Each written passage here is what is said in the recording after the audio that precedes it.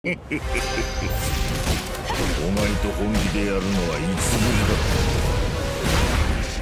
あれ以来この日が来るのを毎日待ってたような気がする。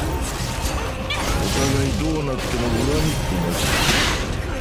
さあお楽しみと行こうぜ。